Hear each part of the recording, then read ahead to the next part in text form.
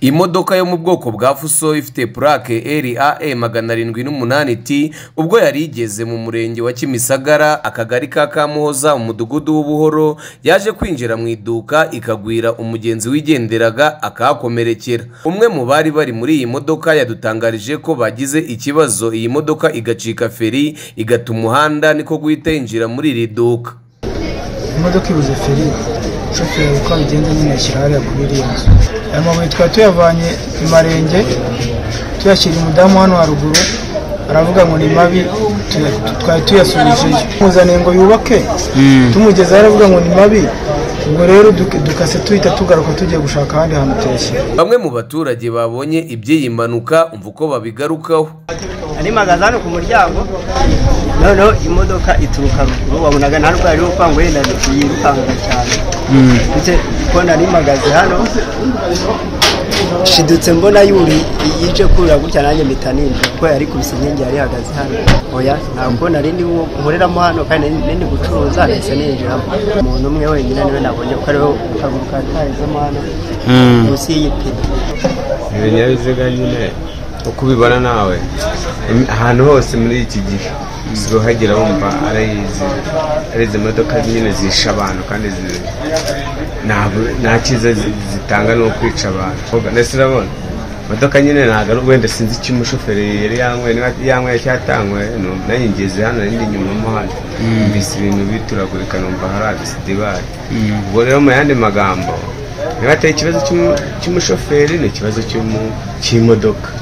Si byo harimo ibirayi hariya harimo ibitoki aha harimo amateke harimo ibijumba aha harimo ikikapeki iyi modoka yari ipakiye amabuye yari itwawe na hagenimana benjamin w'imyaka makumyabiri n'irindwi y'amavuko gakwerere sipiriye w'imyaka mirongo itanu y'amavuko akaba yakomeretse bikomeye abandi batatu bakaba bakomeretse byoroheje. Ngendishe hami iradukunda iyi ni btn tv mu mujyi wa kigali. Nk'uko aba baturage babivuga ngo bari bagize amahirwe yo kwegerezwa amavomo hafi y'aho batuye ariko ngo imyaka isaga itanu irashize nta n'igitonyanga kihagera ku buryo ngo ayo mavomo bayabona nk'umurimbo. Aba baturage baravuga ko bagerageza kubaza ababishinzwe maze bakababwira ko imashini zazamuraga amazi mu isoko y'ahitwa nyabinyoni zagize ikibazo kugeza ubu rero ngo aba baturage bategereje ko izo mashini zakongera gukorwa cyangwa se zigasimbuzwa izindi baraheba. Hano hari imigezi yarahagaze kera hafi imyaka itanu tutabona amazi. Twategereje ko baduha ago mazi twarayabuze none ni ifoto baduhaye hano ni ukujya turawureba hano ni ukugira ngo bizagende bite? Nta kintu bitumariraga. Kuko nk'ubu ngubu uri kubona nk'iyi sima wasanze umwana wacu yayihongoye wasanga ari kugatugiriye kandi tutanavoma ubwo rero rwose bwo ntabwo ari ikibazo ku baturage. Yego ubu turi kujya no kuvoma ibizenga. Nibyo turi gukoresha. Tuvoma ahantu twirirwa. Biri kumara imyaka enye. Imyaka enye nta mazi. Ageze baravuga ngo byarapfuye. Niba byarapfuye twe ntabwo tubizi. Kuba amavomo bari begerejwe amaze icyo gihe cyose nta n'igitonyanga kiharangwa aba baturage baravuga ko bahanganye n'ingaruka zikomeye cyane cyane izijyanye n'isuku n'isukura aho basaba ababishinzwe gukemura iki kibazo kugira ngo bongere babone amazi meza mu mavomo bari begerejwe. Ingaruka twabuze amazi. Ingaruka nka tw'abakecuru twivomeraga hano hafi hakaba igihe uraye nta mazi ufite. Umwana wamwohereza ku mugezi nk'iyo hepfo turagendesha amasaha nk'abiri. Mbayeho guco ni ukubona ikidomoro kimwe ukagikoresha uko kiri ubundi ukifata ibyo kumesa ntumese ukabaho.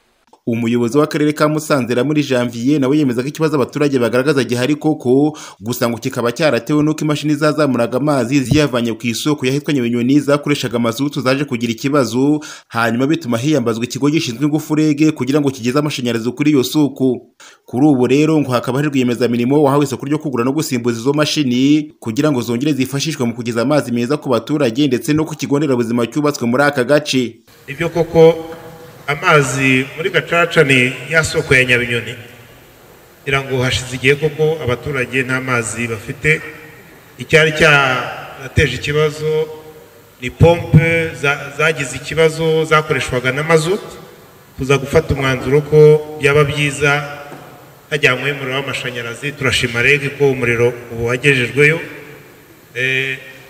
Twaje rero gutekereza uburyo bwo kongera gukoresha ririya vomo.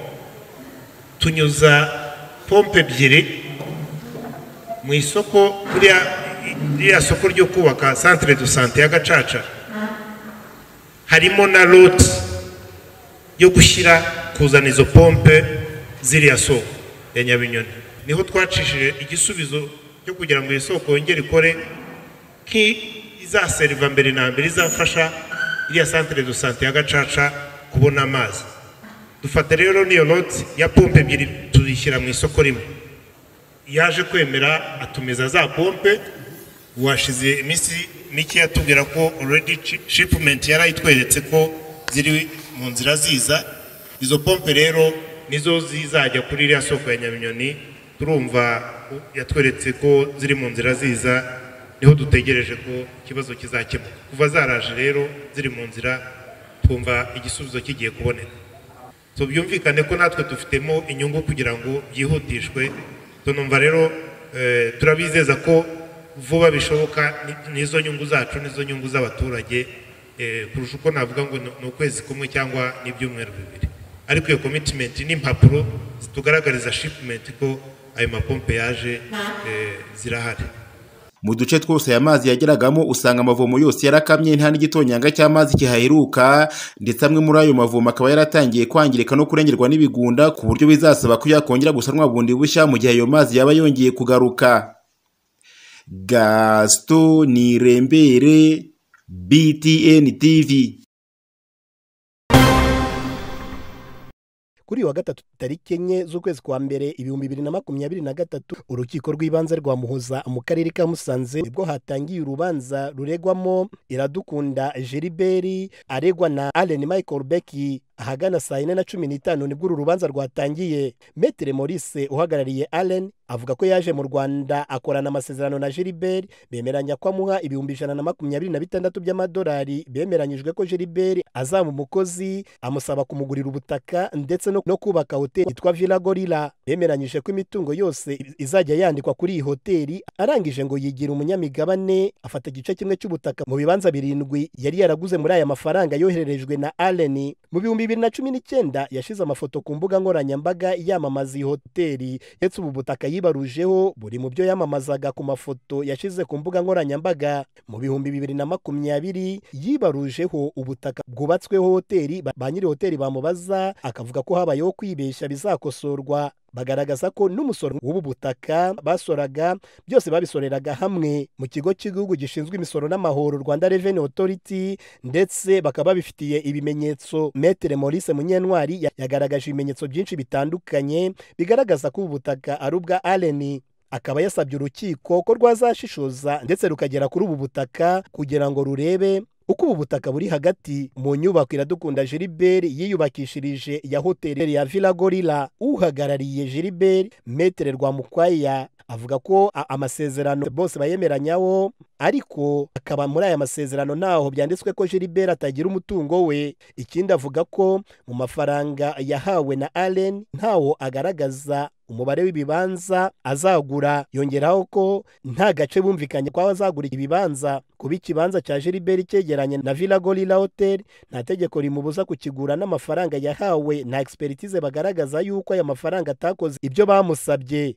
Muri uru rubanza hagiye hagaragazwa ibimenyetso bitandukanye aho metere munyentwari maurice uhagarariye allen yagaragaje yuko maurice ubwe yasabwe na allen kumugaragariza ibibanza yaguze maze ashushanyisha intoki amwoherereza igishushanyo cy'ibibanza yaguze ndetse n'iki kibanza avuga ko ari icye na cyo kigaragara muri icyo gishushanyo.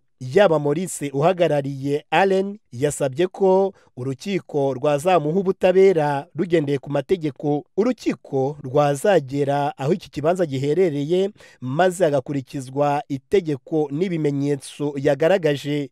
Patrick mayisha btn tv mu karere ka musanze mu majyaruguru y'u rwanda.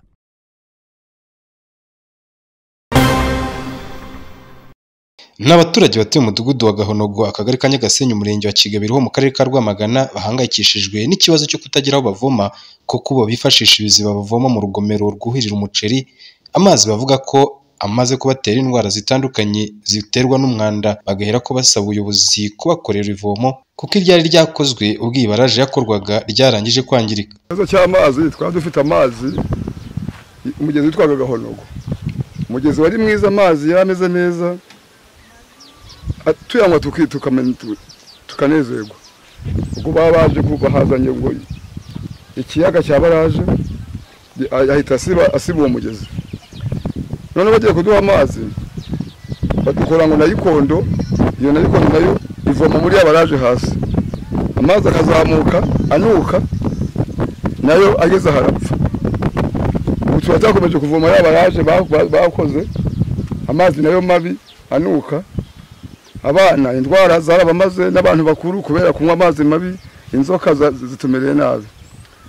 Tukaba dusaba nk'ubuyobozi kuba baduha amazi meza. Amazi wenda ntidusaba aya wasake kuko twebwe twifitiye amasoko yacu karemano. N'abasake atugezeho byaba ari byiza kurushaho. Ariko dukenera amazi yacu isoko karemano kubera yuko hari amasoko menshi ahari menshi. Isoko ya mbere yari ihari uyu mugezi wakoze wa baraje waraje urayisiba turatakamba ngo dukore umugezi dufatanye na leta natwe tuwukore ariko ntibyagira icyo bitanga. Twasabaga rero rwose batubonere amasoko arahari badushakishiriza ahantu ku buryo twashaka amasoko bakaduha amazi. Ingaruka zo zirahari murabona amazi namwe mwayiboneye nk'ijisho ry'umunyamakuru murabona hano barimo kuvoma mubonye ko ari ibiziba mu by'ukuri urabyiboneye nabo ubwawe si inkuru mbarirano urabyiboneye. Kandi nawe ayo mazi y'ibiziba nkeka ko amazi yatetse ashobora gusukurwa. Ariko ukurikije n'ukuntu aba asa ubwayo wavuga ko no kuyateka ntacyo byamara. Gusa abashoboye barateka wenda buriya barateka ariko hariho n'abatateka mu by'ukuri ingaruka ntabwo zabura hari impiswi inzoka ku bana zabaye nyinshi ingaruka zo ntizabura kuri aya mazi nawe wiboneye ubwawe. Tugira ni ukuvoma hariya hasi muri baraje kandi tuba dufite ikibazo cy'uko abana bagwamo. Kandi no kuhavoma na byo ntitubyemerewe. Mu kumenya byinshi kuri iki kibazo cyo kutagira ivomo kuri aba baturage ku murongo wa telefone umuyobozi w'akarere ka rwamagana mbonye umuvunyira jab akaba yabwiye umunyamakuru wa btn tv ko iki kibazo atarakizi ngo gusa bitarenze icyumweru aba baturage bakaba bazaba bakorewe umugezi. N'ubundi kuvoma muri baraje ntabwo byemewe kandi barabahaye ivomero iruhande ngo bavome kuko kujya kuvoma muri baraje haba harimo risike y'uko umuntu yanagwamo agapfa.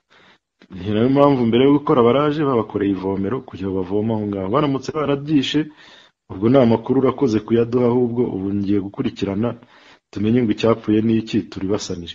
Kuko nta nubwo nari mbizi rwose. Ni ukuzitirwa ni ukugira ngo turinde umutekano w'abantu batagira ugwamo. Ejo ndoherezaho inginiya ushinzwe iby'amazi arebe ikibazo kirimo dushake ukuntu twari bakorera usibye iki kibazo cy'amazi abaturage bakomeje kugaragaza muri mudugudu wa gahonogo bakaba bafite n'ikibazo cyo kutagira umuriro w'amashanyarazi kandi ari umwe mu midugudu yegereye umujyi wa rwamagana. Icyo babona nko kudindizwa mu iterambere. Fulgence Mubashankwaya BTN TV mu karere ka Rwamagana mu mudugudu wa Gahonogo ho mu murenge wa Kigabiro.